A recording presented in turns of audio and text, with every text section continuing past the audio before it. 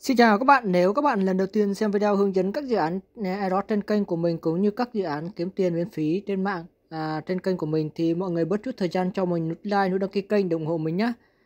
À, và mọi người đừng quên cập nhật những video về dự án và những kèo airdrop đã phân phối token và chưa phân phối token mình có chia sẻ trên nhóm các nhóm ở dưới phần mô tả cho mình nhé. À, trong video hôm nay mình sẽ ờ, update cho mọi người cái dự án ờ, mình không chia sẻ nhiều nhưng mà cũng là gọi là khai thác cùng tất cả những anh em nhé đây là dự án đào pi pi cotem đào, ờ, đào pi coin mọi người nhé sau đây mọi người đào pi coin.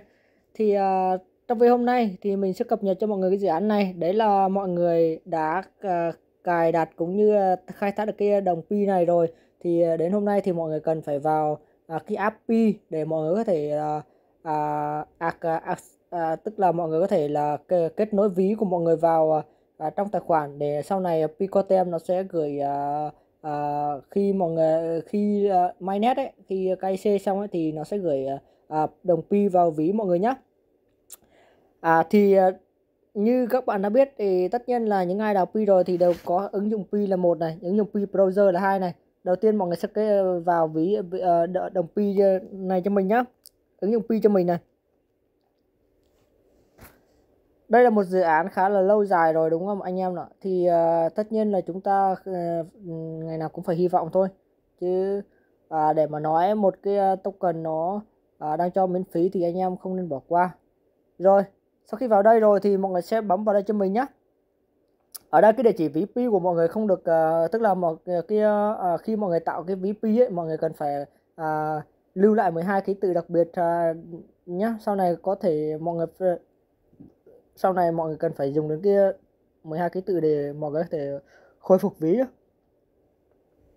vào đây mọi người sẽ bấm ba gạch ở đây cho mình nhé ok mọi người đấy để ý đúng không ạ? Ở đây dòng chữ mynet này thì mọi người sẽ bấm vào đây cho mình.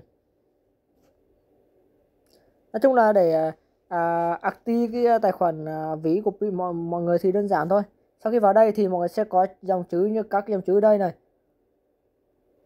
Nếu như mình không cập nhật cho mọi người cái dự án uh, uh, tức là mình không cập nhật cho mọi người cái uh, xác minh uh, BP thì mọi người có có thể là cũng có thể có anh em nhiều anh em đã chia sẻ rồi.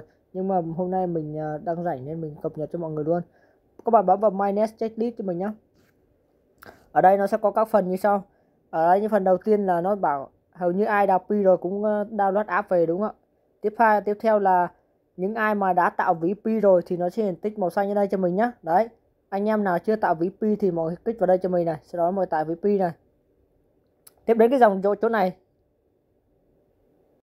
Ở đây ở đây là tức là cái dòng ờ, dòng mọi người có thể nhập, nhập VP nhé nếu như anh em mà vào đây mọi người thấy hiển từ chỗ này là ở đây mình vừa nhập xong thì nó sẽ hiển thị ô vuông đây nhá và có chữ là màu đỏ chỗ này thì mọi người tích vào đây cho mình ở đây là địa chỉ ví à, địa chỉ pi mình nhận đó địa chỉ mình nhận pi đấy đấy mọi người tích vào đây cho mình là bấm con phim wallet này. Đấy sau đó nó sẽ hiển thị thế này. Ở đây nó bảo mọi người cần phải kết nối cụm từ 12 ký tự đặc biệt đến 24 ký tự đặc biệt vào đây để kết nối VP để con phim nhá. Thì mọi người sẽ copy lại cái cụm từ đặc biệt cho mình. Ở đây mình sẽ copy lại cho mình nhá. Mọi người đợi mình một lát mình copy lại. Ok sau khi mọi người nhập uh, cụm từ 12 đến 24 ký tự ở đây xong uh, như vậy nhá. Nó sẽ hiển thị như thế này sau đấy mọi người sẽ bấm một con phim Zio Wallet cho mình. Khi mọi người bấm xong chữ con phim Zio Wallet nó sẽ kết nối để chỉ ví cho mọi người sang giao diện như lúc nãy mới. Để cho mình sẽ kết nối luôn này. Mọi người sẽ đợi một lát này. Mình sẽ giờ uh, không thể cho mọi người xem đây được. Ok đấy. Sau khi mọi người bấm con phim wallet thì nó sẽ hiển thị thế này. Đấy thì lập tức ở chỗ này thì uh, đây là địa chỉ ví. Mọi người có thể nhận được nhận pi này. Sau này mọi người chuyển đổi nhận pi đấy. Tức là đây là địa chỉ ví nhận nhá.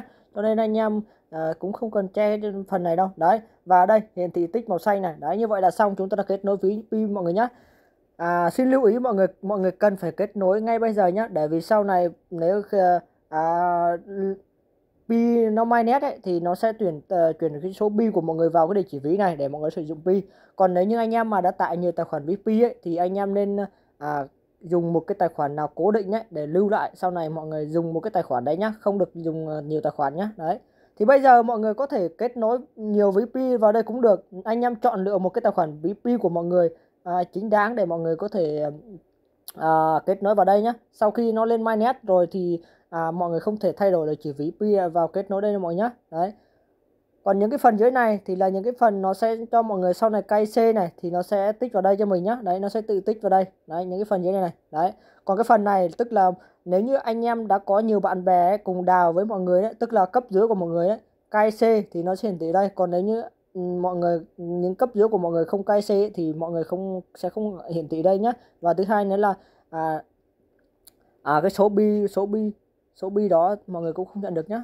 Đấy ok, như vậy là mình cập nhật cho mọi người dự án à, à, Đào Pi Network. Cảm ơn mọi người xem video. Tạm biệt mọi người. Hẹn mọi người những video tiếp theo.